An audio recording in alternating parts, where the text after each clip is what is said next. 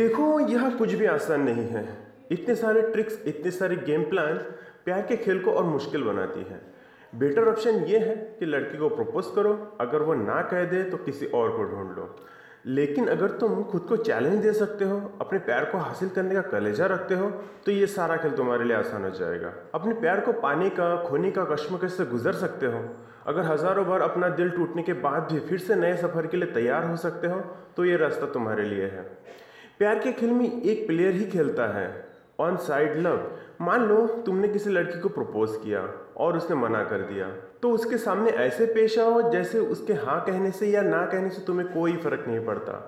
लड़की को कभी ये मत बताओ, ना ही दिखाओ कि तू नहीं तो और कोई और नहीं तो और सही तुम दूसरी लड़की ढूंढ सकते हो, लेकिन जिसे तुमने प्रपोज किया है, उसको पता चले भी ना जब उसके ना पर तुम्हारा दिल नहीं टूटेगा, जब तुम उसके प्रति पूरी तरह से रिलैक्स हो जाओगे तब वो वापस आएगी, तब वो तुम्हारे पीछे पड़ जाएगी। यही प्यार का खेल है। मैंने एक लड़की को प्रपोज किया, उसने ना बोला। उसने कहा, हम बहुत अच्छे दोस्त हैं, मैं प्यार वार के चक्कर में नहीं पड़ना चाहती।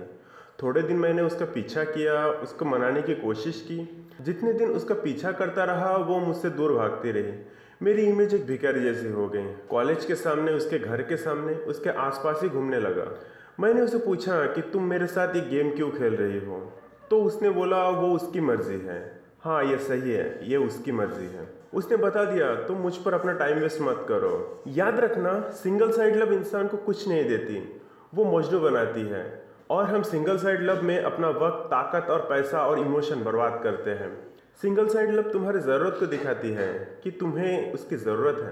प्यार मांगने से नहीं मिलता, तुम प्यार से भर जाओ, सभी तुमसे प्यार मांगेंगे। फिर मैंने खुद के लाइफ में प्यार भरना शुरू किया।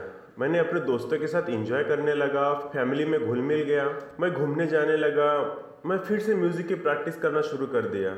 मैं अपने लाइफ में इतना खो गया कि मैं उस लड़की को भूल सा गया था, जहाँ उसके लास्ट सीन देखते देखते दिन निकल जाता था, उसके मैसेज का इंतज़ार रहता था। आज जब एक हफ़्ते बाद ऑनलाइन आया तो उसके 107 मैसेज देखे।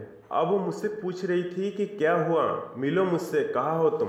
तुम लड़की को जितना इंपॉर्टेंस दोगे, वो तुमसे उतना ही दूर भागेगी। एक बात सोचो, लड़की को भी प्यार चाहिए। वो भी ऐसा लड़का ढूंढ रही है जिसके पास प्यार हो। लड़की के पास प्यार है ही नहीं तो वो देगी कहाँ से? वो चाहती है उसकी लाइफ फुल ऑन हो। वो घूमना चाहती है, वो इंजॉय करना चाहती है, रिश्तों में रहना चाहती है, वो प्यार चाहती है। तुम उल्टा कर रहे हो। तुम लड़की से प्यार क्यों मांगते हो? मेरी बातें बहुत कम लोग समझ पाते हैं, लेकिन जो समझ जाते हैं वो इंजॉय करते हैं। लड़की से प्यार मांगो मत, उसे प्यार दो। उसको बताओ वो तुम्हारे साथ जुड़ेगी तो उसे कितना प्यार मिलेगा?